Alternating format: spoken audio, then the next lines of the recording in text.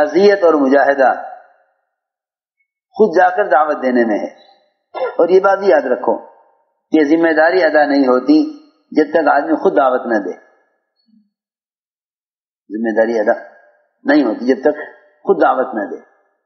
ज़िम्मेदारी अदा नहीं होती जब तक खुद दावत न दे। हजूर अक्रम वसल्लम ने किसरा की तरफ़ चार आदमियों को भेजा। किसरा की तरफ़ चार आदमियों को भेजा। एक खत भी दे दिया। तीसरा ने खत फाड़ दिया। तीसरा ने खत फाड़ दिया। एक खत के फटने पर, एक खत के फटने पर चार आदमी खत लेकर गए। एक खत के फटने पर सारा मुल्क फट गया। अल्लाह की शान। मैं कुछ कहना चाहता हूँ। सिर्फ़ तहरीर, तहरीरी तौर पर दावत देना, सिर्फ़ तहरीरी तौर पर दावत देना ज़िम्मेदारी के अदा होने के लिए और गैब रिश्तों के नाजिल होने के लिए काफ़ी नहीं है। काफ़ी नहीं है। सिर्फ़ तहरीरी तौर पर दीन की इशात कर देना, ज़िम्मेदारी के अदा होने और मुजाहिदे के लिए काफ़ी नहीं है।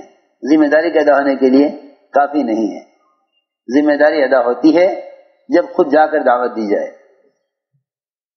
इसलिए मैंने अर्ज़ किया कि नकल हरकत का कोई मुतबादिल नहीं है। दावत की सुन्नत असल नकल हरकत और खरूज है। दावत की सुन्नत असल नकल हरकत और खरूज है। इसका कोई मुतबादिल नहीं है। दावत की सुन्नत नकल हरकत और खरूज है। इसका कोई मुतबादिल, इसका कोई मुतबादिल नहीं है। इसका कोई मुतबादिल नहीं है। क्योंकि नबूत की लाइन की अजियतें नबूत के तरीक़े मेहनत में है। ये बात समझना बहुत ज़रूरी है। इस जमाने में लोग ये कहते हैं कि भाई, बात के पहुँचाने की सहूलतें हो गई हैं, लिहाजा दीन लिख कर दे दिए जावे। आपने अगर खुतूब भी लिखे बादशाहों को तो असल जमात को भेजा है आपने। खत अदा दिया आपने बतौर सबूत के। जमात भेजी है बतौर दावत के। खुतूब भेजे हैं बतौर सबूत के। जमात भेजी है बतौर दावत के। जमात भेजी बतौर दावत के। खुतूत लिखे हैं बतौर सबूत के। इसलिए आपने खुतूत जो लिखे, वो सिर्फ़ बादशाहों को लिखे हैं। सिर्फ़ सिर्फ़ बादशाहों को खुतूत लिखे ये नहीं कि हर जगह वालों को खत के ज़रिए दावत दे देते।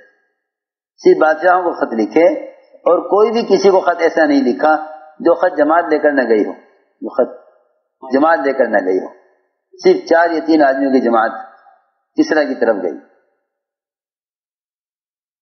तीसरा की तरफ़ जमात गई तीसरा को खत पहुँचाया बहरेन के गवर्नर के ज़रिए खत गया उसने किसरा जो सबसे बड़ा बादशाह था उसका खत पहुँचाया उसने खत पढ़ा तो अपना नाम बाद में, और आप वसल्लम का नाम पहले।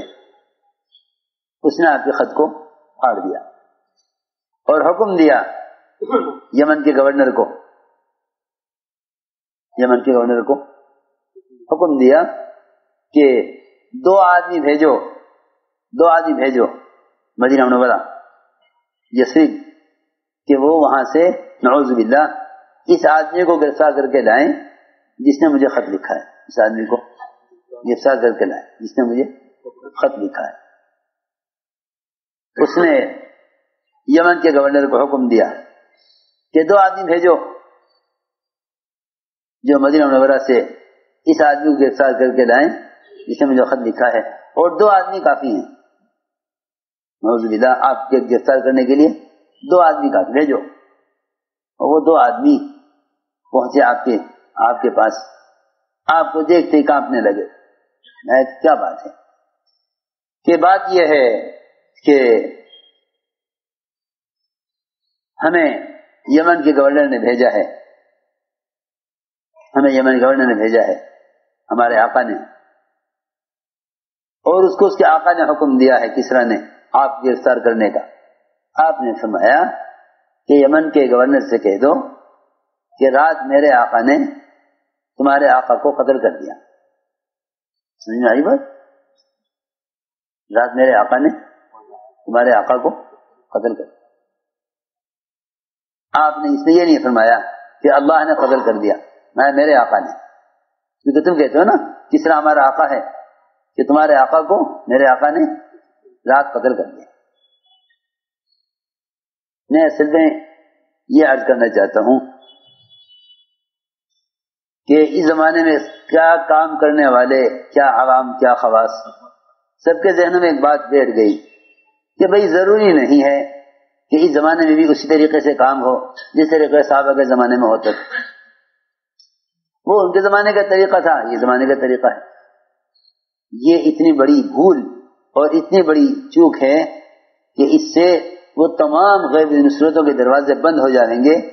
जो गैब नुसरतें आपके तरीके दावत पर नाजिल हुई हैं। जो गैब नुसरतें आपके आपके तरीके दावत पर नाजिल हुई हैं, वो सारी गैब नुसरतें रुक जाएँगी। आपने इतमान से फरमाया कि उसने हमारा खत नहीं फाड़ा अपना मुल्क फाड़ लिया। सोचो सही। एक खत के फटने पर सारा मुल्क फट गया। एक खत के फटने पर सारा मुल्क फट गया।